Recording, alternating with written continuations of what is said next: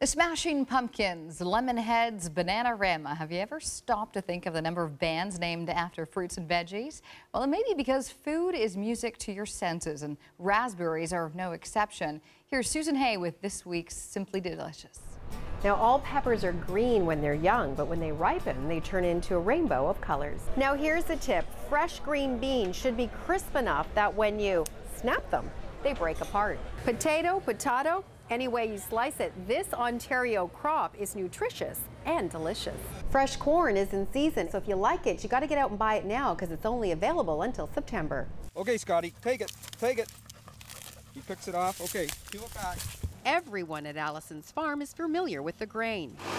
Get them while you can. These Ontario red tart cherries are only available until mid-August. The growing list of customers at Judy's Tropical Garden is evidence to the need for ethnocultural produce in the GTA.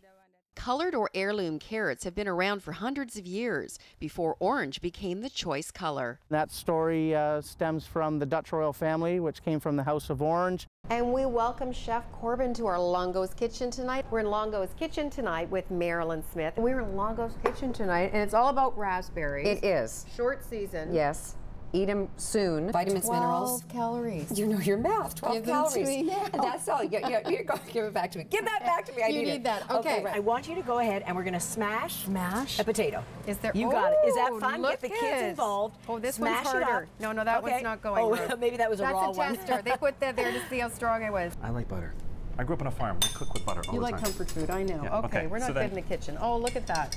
Then what you do You is don't need that. you take these little mounds of the batter and you put it right inside like so. Okay? And what you end up with are like those ones over there to your right. Can I just taste? Yeah, I'll do all the work. Mm. Something for you to think about grilling this weekend. Have a good one, everybody. Is this it? And that's it. This is our last installment of Simply Delicious. We had a great time We together. did. We hope you enjoyed watching it. I had so much fun. Thanks. I had more fun. so fresh. Very good. It's simply delicious.